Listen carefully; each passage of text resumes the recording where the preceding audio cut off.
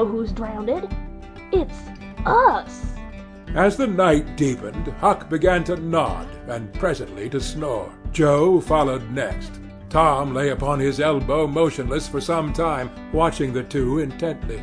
Then he tiptoed his way cautiously among the trees till he felt that he was out of hearing, and straightway broke into a keen run.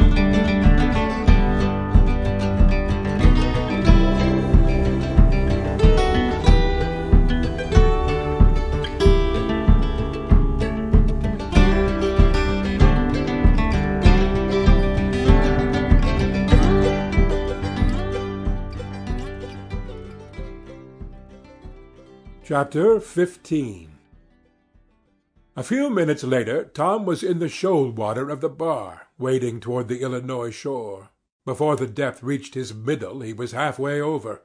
The current would permit no more wading now, so he struck out confidently to swim the remaining hundred yards. He swam quartering upstream, but still was swept downward rather faster than he had expected. However, he reached the shore finally, and drifted along till he found a low place and drew himself out. He put his hand on his jacket pocket, finding his piece of bark safe, and then struck through the woods, following the shore with streaming garments. Shortly before ten o'clock he came out into an open place opposite the village, and saw the ferry-boat lying in the shadow of the trees and the high bank. Everything was quiet under the blinking stars.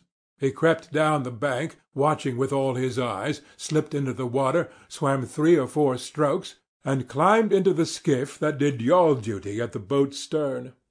He laid himself down under the thwarts and waited, panting. Presently the cracked bell tapped, and a voice gave the order to cast off. A moment or two later the skiff's head was standing high up, against the boat's swell, and the voyage was begun. Tom felt happy in his success, for he knew it was the boat's last trip for the night.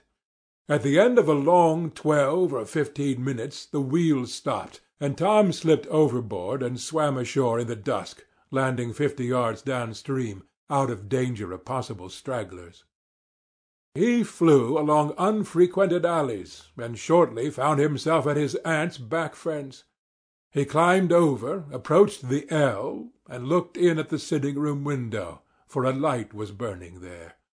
There sat Aunt Polly, Sid, Mary, and Joe Harper's mother, grouped together, talking. They were by the bed, and the bed was between them and the door. Tom went to the door and began to softly lift the latch.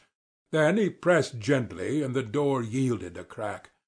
He continued pushing cautiously, and quaking every time it creaked, till he judged he might squeeze through on his knees.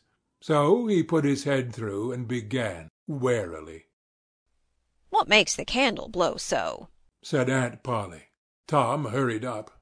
"Why, that door's open, I believe. Why, of course it is. No end of strange things now. Go along and shut it, Sid." Tom disappeared under the bed just in time. He lay and breathed himself for a time, and then crept to where he could almost touch his aunt's foot. "But as I was saying," said Aunt Polly, "he weren't bad, so to say, only mischievous; only just giddy and harum-scarum, you know. He weren't any more responsible than a colt. He never meant any harm, and he was the best-hearted boy that ever was." And she began to cry. "It was just so with my Joe always full of his devilment, and up to every kind of mischief, but he was just as unselfish and kind as he could be. And laws bless me! To think I went and whipped him for taking that cream, never once recollecting that I throwed it out myself because it was sour, and I never to see him again in this world, never, never, never, poor abused boy!" And Mrs. Harper sobbed as if her heart would break. I hope Tom's better off where he is, said Sid. But if he'd been better in some ways. Sid! Tom felt the glare of the old lady's eye, though he could not see it. Not a word against my Tom now that he's gone. God'll take care of him. Never you trouble yourself, sir. Oh, Mrs. Harper, I don't know how to give him up. I don't know how to give him up. He was such a comfort to me, although he tormented my old heart out of me most. The Lord giveth, and the Lord hath taken away. Blessed be the name of the Lord. But it's so hard. Oh, it's so hard. Only last Saturday my Joe busted a firecracker right under my nose, and I knocked him sprawling. Little did I know then how soon. Oh, if it was to do over again, I'd hug him and bless him for it. Yes, yes, yes, I know just how you feel, Mrs. Harper. I know just exactly how you feel. No longer ago than yesterday noon my Tom took and filled the cat full of pain-killer, and I did think the creetur would tear the house down. And God forgive me, I cracked Tom's head with my thimble, poor boy. Poor dead boy. But he's out of all his troubles now.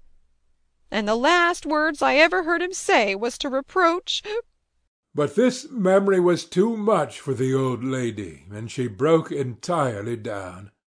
Tom was snuffling now himself, and more in pity of himself than anybody else.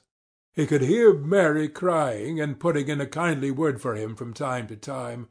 He began to have a nobler opinion of himself than ever before. Still, he was sufficiently touched by his aunt's grief to long to rush out from under the bed and overwhelm her with joy, and the theatrical gorgeousness of the thing appealed strongly to his nature too, but he resisted and lay still. He went on listening, and gathering, by odds and ends, that it was conjectured at first that the boys had got drowned while taking a swim. Then the small raft had been missed Next, certain boys said the missing lads had promised that the village should hear something soon. The wise heads had put this and that together, and decided that the boys had gone off on that raft and would turn up at the next town below presently. But toward noon the raft had been found, lodged against the Missouri shore some five or six miles below the village, and then hope perished. They must be drowned, else hunger would have driven them home by nightfall, if not sooner. It was believed that the search for the bodies had been a fruitless effort merely because the drowning must have occurred in mid-channel, since the boys, being good swimmers, would otherwise have escaped to shore. This was Wednesday night. If the bodies continued missing until Sunday, all hope would be given over, and the funerals would be preached on that morning. Tom shuddered. Mrs. Harper gave a sobbing good night and turned to go. Then, with a mutual impulse, the two bereaved women flung themselves into each other's arms and had a good consoling cry, and then parted. Aunt Polly was tender far beyond her wont in her good night to Sid and Mary. Sid snuffled a bit, and Mary went off crying with all her heart. Aunt Polly knelt down and prayed for Tom so touchingly, so appealingly, and with such measureless love in her words and her old trembling voice, that he was weltering in tears again, long before she was through. He had to keep still long after she went to bed, for she kept making broken-hearted ejaculations from time to time, tossing unrestfully, and turning over. But at last she was still, only moaning a little in her sleep. Now the boy stole out, rose gradually by the bedside, shaded the candle-light with his hand, and stood regarding her. His heart was full of pity for her. He took out his sycamore scroll and placed it by the candle, but something occurred to him, and he lingered considering. His face lighted with a happy solution of his thought. He put the bark hastily in his pocket. Then he bent over and kissed the faded lips, and straightway made his stealthy exit, latching the door behind him. He threaded his way back to the ferry landing, found nobody at large there, and walked boldly on board the boat. For he knew she was tenantless, except that there was a watchman, who always turned in and slept like a graven image. He untied the skiff at the stern, slipped into it, and was soon rowing consciously upstream. When he had pulled a mile above the village, he started quartering across and bent himself stoutly to his work. He hit the landing on the other side neatly, for this was a familiar bit of work to him. He was moved to capture the skiff, arguing that it might be considered a ship, and therefore legitimate prey for a pirate. But he knew a thorough search would be made for it, and that might end in revelations. So he stepped ashore and entered the woods. He sat down and took a long rest, torturing himself meanwhile to keep awake, and then started wearily down the home stretch. The night was far spent. It was broad daylight before he found himself fairly abreast the island bar. He rested again until the sun was well up and gilding the great river with its splendor, and then he plunged into the stream. A little later he paused, dripping, upon the threshold of the camp, and heard Joe say, No, Tom's true blue Huck, and he'll come back. He won't desert. He knows that would be a disgrace to a pirate, and Tom's too proud for that sort of thing. He's up to something or other. Now I wonder what? Well, the things is ours anyway, ain't they? Pretty near, but not yet, Huck. The writing says they are if he ain't back here to breakfast. Which he is? exclaimed Tom, with a fine dramatic effect, stepping grandly into camp. A sumptuous breakfast of bacon and fish was shortly provided, and as the boys set to work upon it, Tom recounted and adorned his adventures. They were a vain and boastful company of heroes when the tale was done. Then Tom hid himself away in a shady nook to sleep till noon, and the other pirates got ready to fish and explore.